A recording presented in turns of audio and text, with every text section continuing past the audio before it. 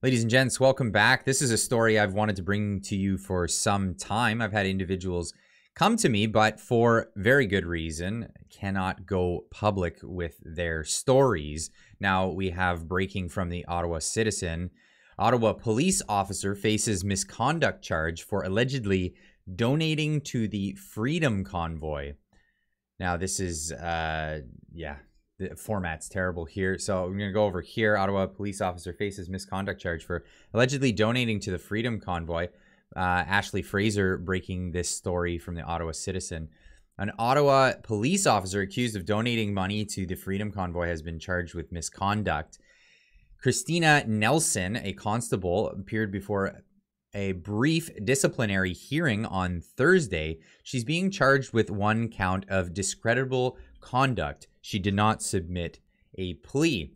OPS professional standards investigator allege Nelson donated money to the Freedom Convoy Fund on Give Send Go, a Christian crowdfunding website. Nelson is alleged to have donated the money on February 5th 2022 as the Freedom Convoy trucks were stationed throughout the downtown core and police were already facing pushback for failing to remove them. Now, at the time that this occurred, this was a legal uh, organization to donate to.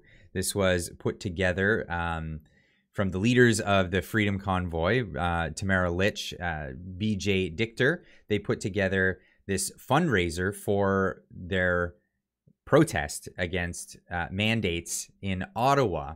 Now, what happened was the Give Send Go was hacked, criminally hacked, and the information of their donors was distributed freely on the internet. Now, certain government officials have been using this to their advantage, and uh, the media immediately started sending out emails to donors uh, asking for confirmation. Now, if people gave confirmation to the media, that would be uh, legally binding. They gave that information.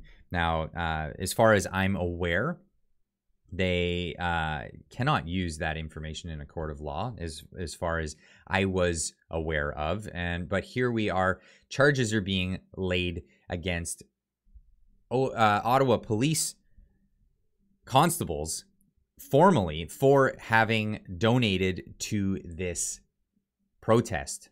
The charges against Nelson detailed a notice of hearing content content uh, sorry a notice of hearing content that she knew or reasonably ought to have known that the money was being raised for the illegal occupation known as the freedom convoy.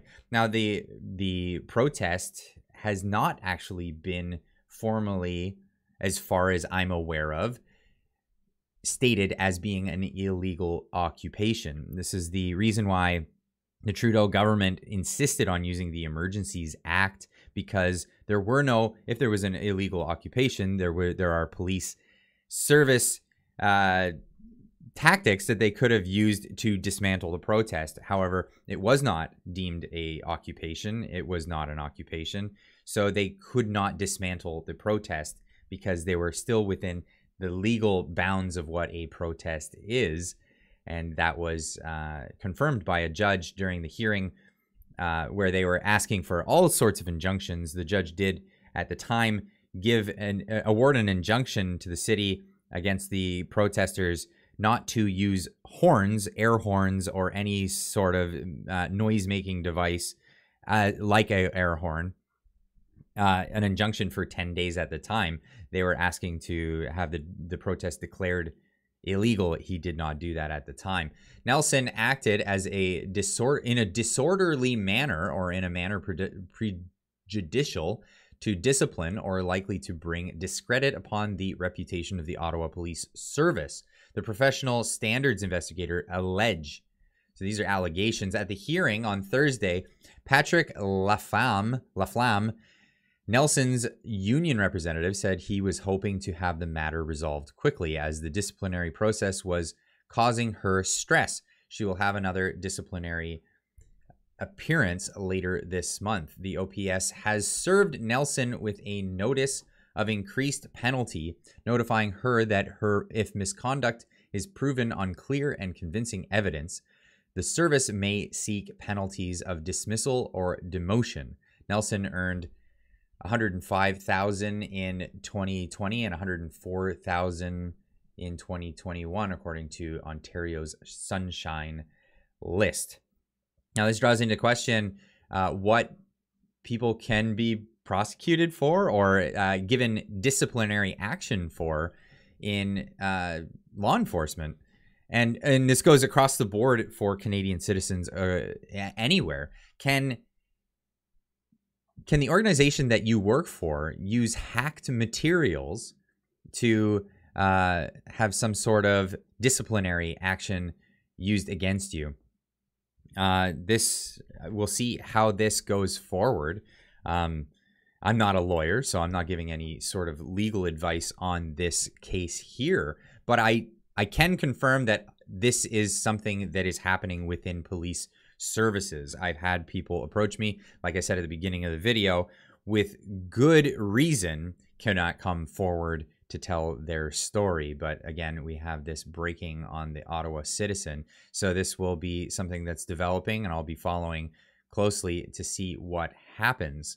But this may set a horrible precedent for any sort of service, not not just police services, where political motivation can uh, award the well oh, give give grounds for disciplinary action. This seems very political in nature. But that's just my opinion. Leave a comment in the comment section down below. Let me know what you think of this situation. Uh, from what I heard, uh, this this is quite serious. Uh, people are having disciplinary action and being threatened not to come forward for further disciplinary action if the story gets out. Now, we'll see what happens here with this constable. Um, leave a comment in the comment section down below. Uh, if you're not already, subscribe to the channel. Hit that notification bell. Lets you know when I go live. I'll be going live this evening at 6.30 Pacific time. Check your local listings on that. Sorry if you went to check the live stream yesterday with uh, Allison Moreau. That didn't happen because, well, congratulations. She had a bouncing baby yesterday. So she is doing well and uh, they have a new family member. So, congratulations to them. We'll catch up on that stream. Again, she sent me a message saying, Sorry, uh, we were kind of tied up at the moment. Fair enough. Absolutely. So we'll do that when it's possible again. But yeah, leave a comment in the comment section down below. Hit that like button, and we'll see you in the next one. Keep on trucking.